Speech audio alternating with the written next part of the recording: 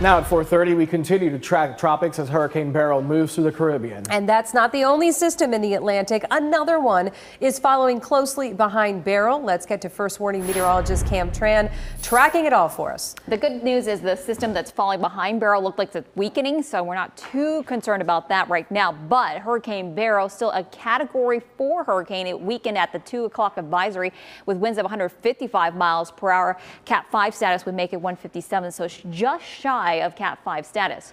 Moving to the west northwest at 22 miles per hour, and I want to show you Hurricane Beryl is actually the earliest Category 5 hurricane that's developed in the Atlantic Basin. It formed July 1st, and it, the second earliest is Emily that developed on the night of July 16. So again, a very historic storm, many firsts with this system.